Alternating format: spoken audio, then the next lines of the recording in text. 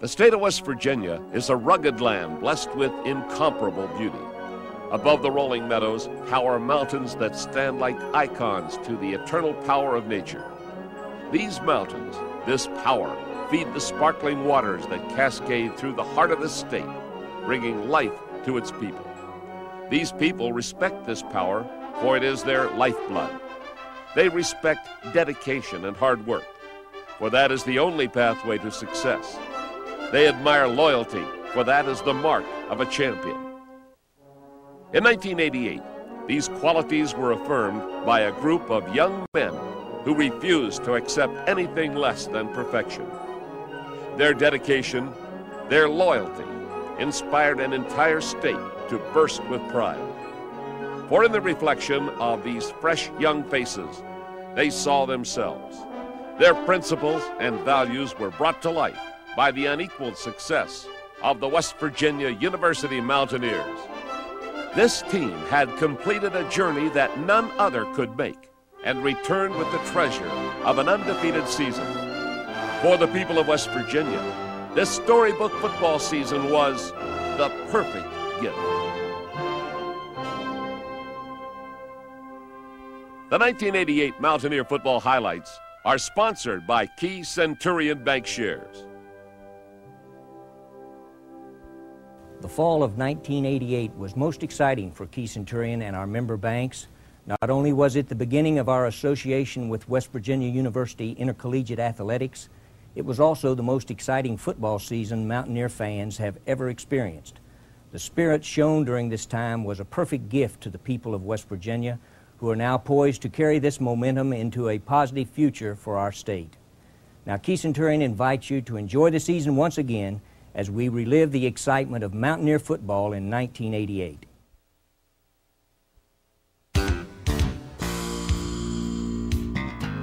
As fall practice opened in Morgantown, Don Nehlen was cautiously optimistic about the season ahead. Returning were 43 lettermen who would provide a solid foundation for this team. The offensive line would return intact. Fifth year seniors from tackle to tackle. The nucleus of the 88 attack would be built upon their broad shoulders. We've been together. We've really kept each other on positive notes. When one of us was down, you know, I could always turn to Rick, Bob, anyone, and, and they would always be there to help me with things, and, and the same with us to everyone else. So being together, kind of like a family on the offensive line, really keeps us going and keeps us working for each other. The backfield was filled with thoroughbred runners each with his own style of play that would complement the option oriented offense. And of course, sensational quarterback Major Harris returned for only his second season at the helm. The defense, under new leadership, figured to be solid with 19 returning lettermen. A talented linebacking corps would complement a strong secondary, but there would be major gaps to fill up front. And while Nehlen saw the potential of big things on the horizon, one man was not so bashful with his enthusiasm. When all the bowl games are over, one team will be 12 and 0 and number one in the country. That team is West Virginia. Well, daggone you, Vino, no one's ever accused you of being real smart, you know. I tell you what, if you lose to Bowling Green, you won't see Sunday. You're right. The season got off to a flying start as West Virginia crushed Bowling Green 62 to 14 in Morgantown. The swarming West Virginia defense proved in the first series that it came to play. A muffed punt, and Willie Edwards became the first of many Mountaineers to score on the new OmniTurf surface in 1988. The big story of the day was an explosive Mountaineer rushing attack that netted 367 yards six different West Virginia ball carriers crossed the goal line that spectacular afternoon. Add a touchdown strike from Major Harris to newcomer Reggie Rembert, and West Virginia had notched victory number one. It was a special win for Don Nehlen at the expense of his alma mater. With this triumph, he had become the all-time winningest coach in only his ninth season at WVU.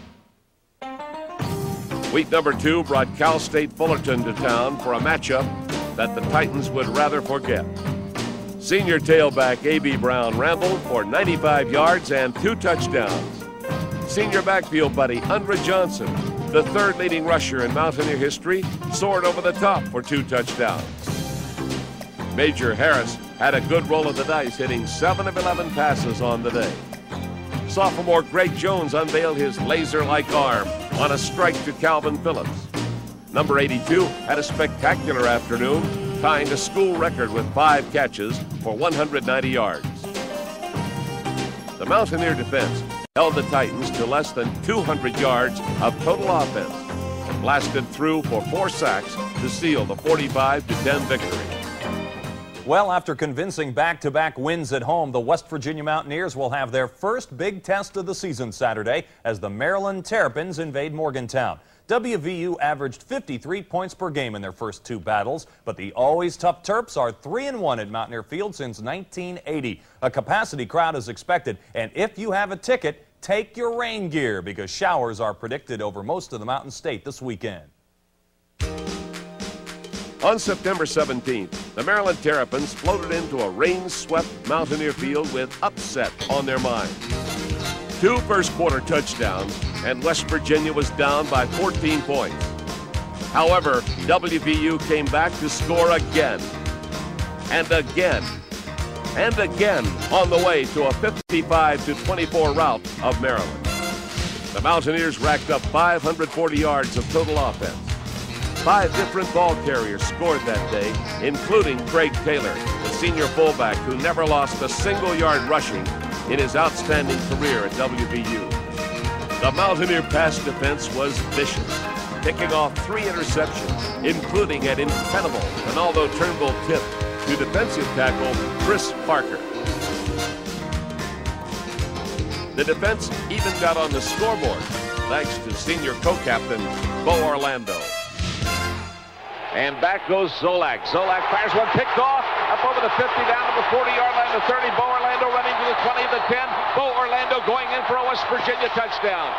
Intercepting on the pass, coming out to the near side, 55 yards. The ball intended for Ricky Johnson.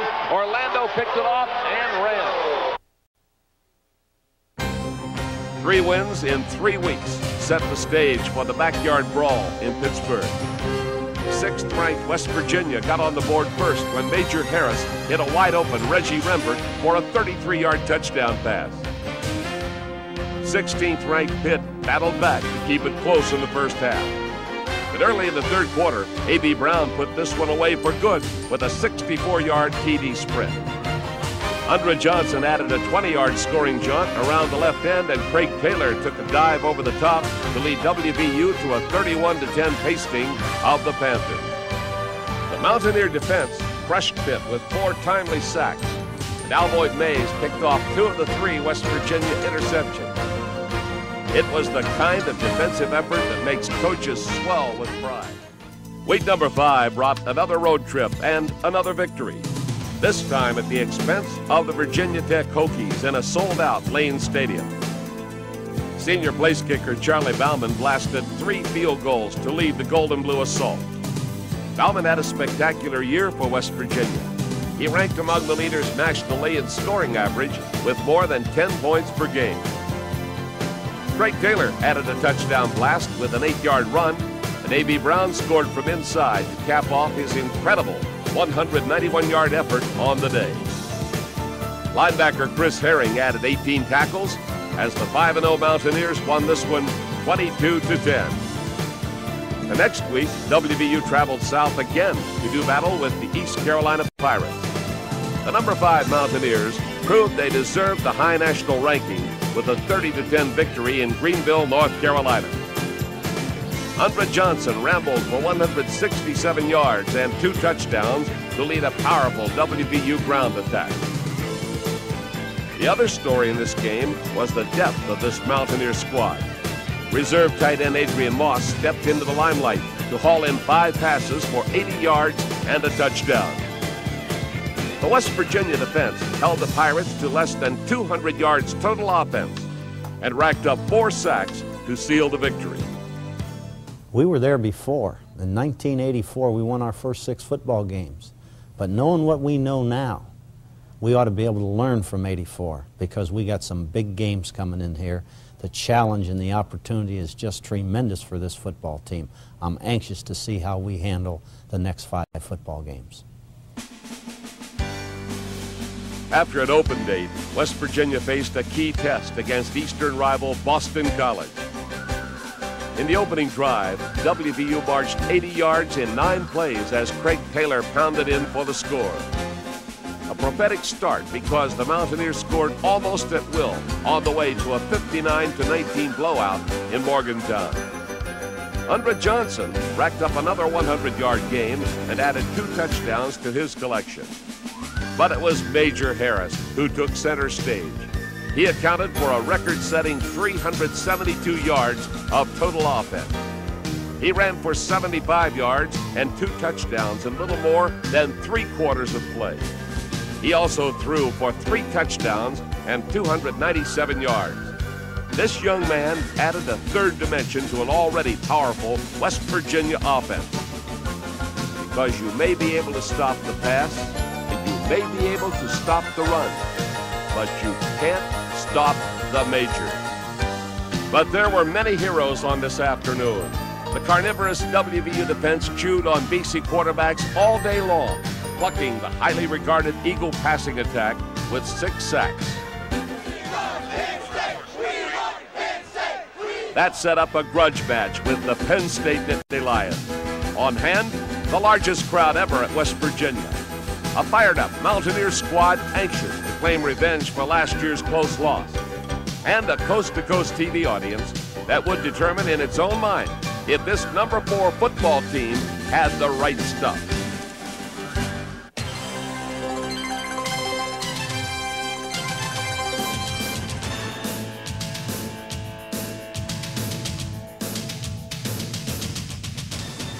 You may not recognize them, but there's a new powerhouse emerging in college football. And in West Virginia, fans will tell you this is the strongest Mountaineer team ever.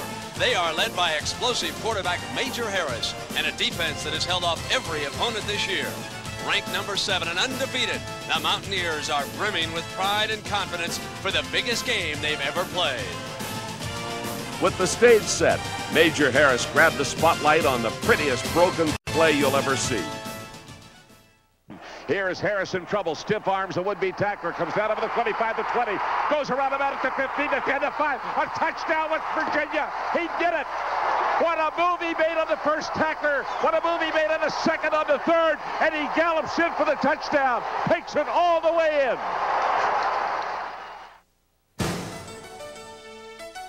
Later in the first quarter, Harris hit Rembert on a crossing pattern over the middle. West Virginia 14, Penn State nothing. The battering continued in the second quarter as Major, with some beautiful protection up front, hit Calvin Phillips on a long bomb. Craig Taylor earned some frequent flyer points with a dive over the top.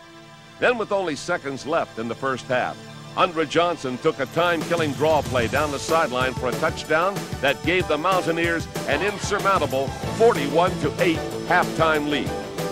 In the second half, Charlie Baumann added a 39-yard field goal, and then in the last West Virginia drive, Eugene Napoleon squirmed out of the pack and raced 69 yards to put the Lions back in their game. WVU totaled 563 yards of offense and averaged nearly 8 yards per play.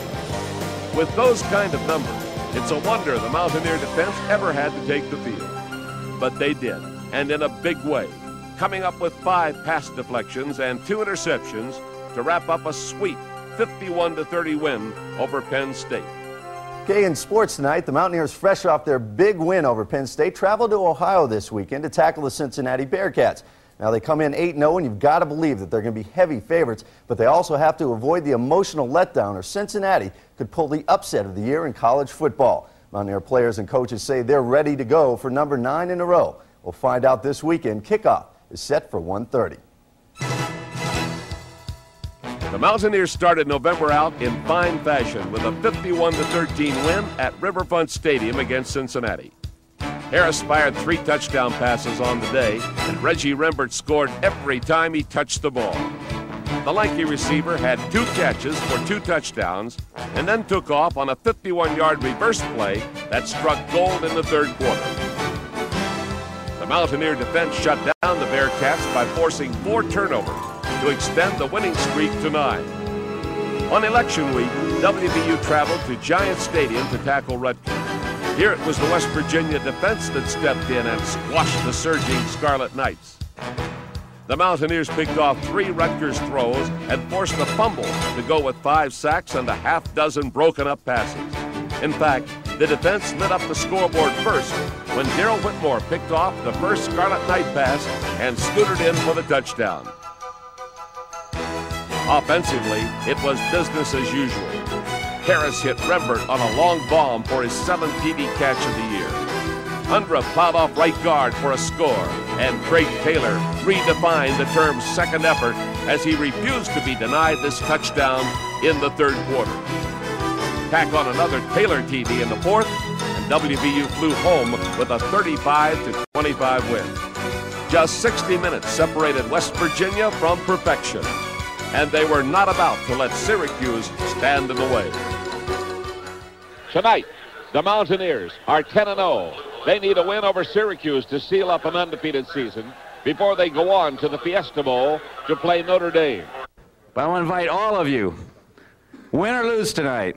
I know you're going to win, but either way, we're still very proud, and we still want you out there in Phoenix playing the Irish and Notre Dame.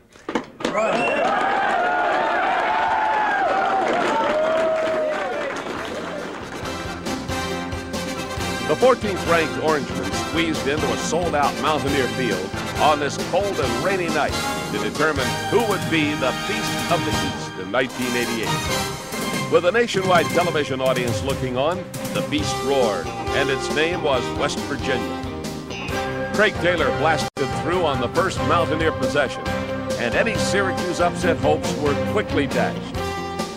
The Orange battled back, stifling West Virginia defense came up with six turnovers on the night, including four interceptions. Late in the first half, Deron Ellis picked off a Syracuse pass and rumbled downfield to give WVU another crack at the goal line. Craig Taylor blasted through for the score, and the Mountaineers were up by 11 at the break.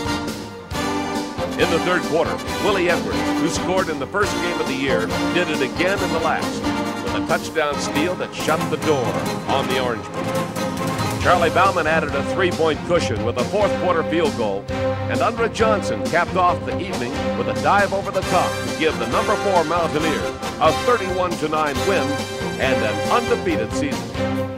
And after the game, this family of 65,000 emotional West Virginians poured out its heart for a team that had reached its destiny and for a man whose dedication to excellence inspired an entire state.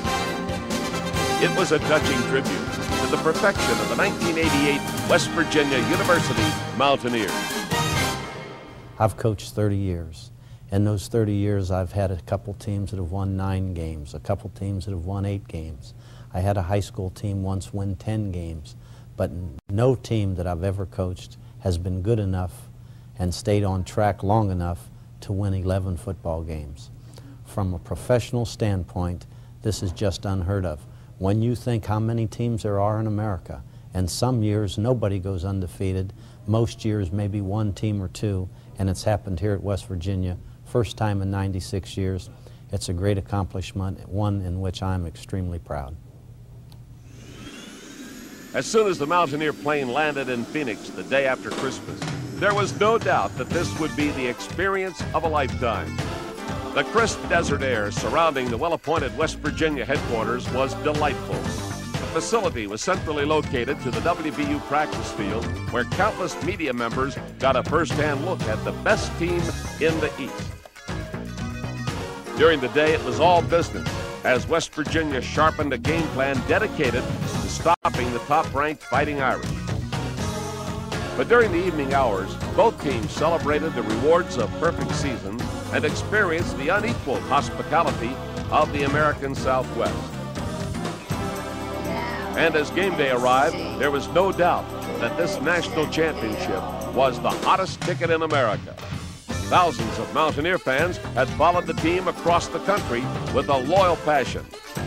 This was it, the single greatest moment in the history of West Virginia football.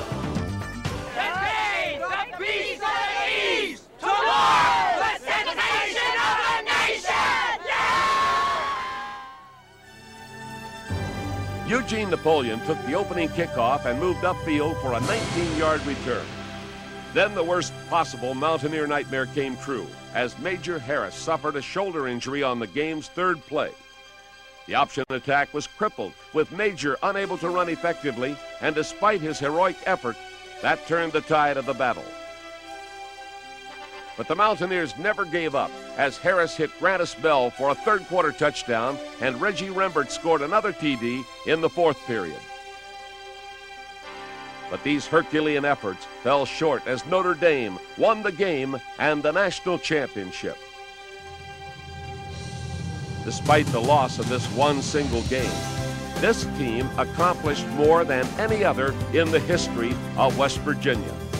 They didn't just win a few football games.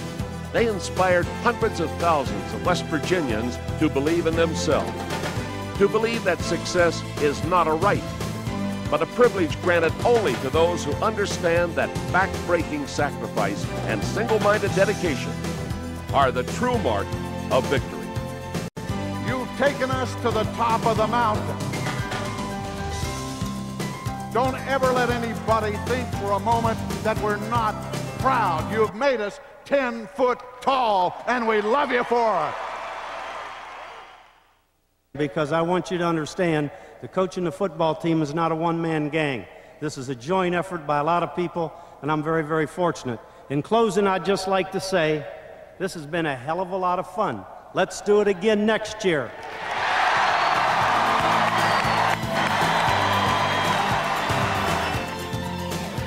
For Don Nehlen, the 1988 season was the benchmark of an illustrious career. He was named National Coach of the Year by no less than four organizations, including the prestigious Kodak Award given by his peers in the American Football Coaches Association. And although he's appreciative of the recognition, he is the first to give credit to his outstanding coaching staff. These dedicated men called upon more than 150 years of college coaching experience to make this program a winner. In 1988, the All-American squads were filled with names from West Virginia. The Associated Press named 14 Mountaineers to its All-American